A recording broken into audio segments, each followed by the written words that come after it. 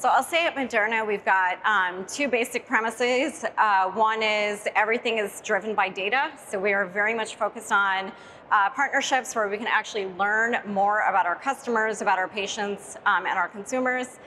Um, and then the second is around digitizing everywhere. So since we're in, we have the opportunity to build from the ground up, uh, we're really looking at how do we leverage technology in ways that are actually part of the current experience versus trying to get either a consumer or a healthcare system to you know come to an experience that we've designed that's not optimal for them